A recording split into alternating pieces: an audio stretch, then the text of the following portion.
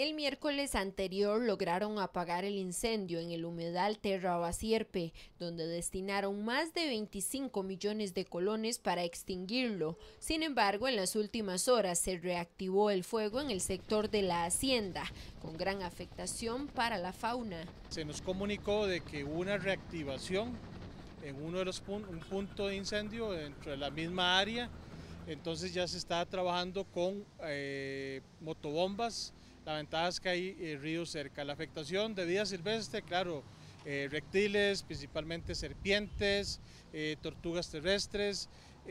tenemos reportes por parte de los compañeros que indicaron de que habían venados, chanchos de monte que estaban saliendo de la zona de incendio y más bien se tuvo que tener un dispositivo de seguridad para la parte de los cazadores que ya estaban cazando a esos animales.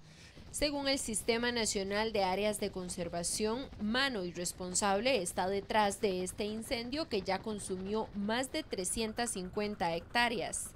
Personas, propietarios, eh, lo que están haciendo es quemar para ir poco a poco y metiéndose al área de humedal. esa es la causa, cambio de uso del suelo. Quemo para eliminar vegetación y luego viene lo que es cultivo, en este caso sería arroz.